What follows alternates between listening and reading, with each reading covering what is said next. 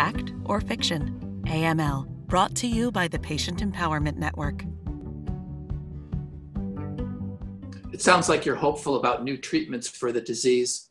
How about a, a cure? What's the science, what's the medical science say about that? Are we getting any closer to that?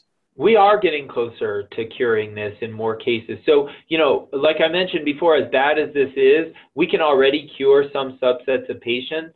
Um, there's one type of acute myeloid leukemia called acute promyelocytic leukemia, APL. It's an uncommon uh, form of, of AML, less than 10%, but it, it, we can cure uh, close to 99% of people with APL. And APL 15 years ago was universally the worst form of acute leukemia to get. So that dramatic 180 that we've seen in APL, um, we are hoping to translate into other forms of AML.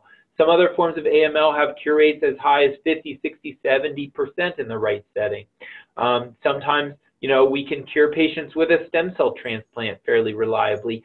So we are very, very hopeful about our ability to continue to make progress and cure more and more and more of these patients.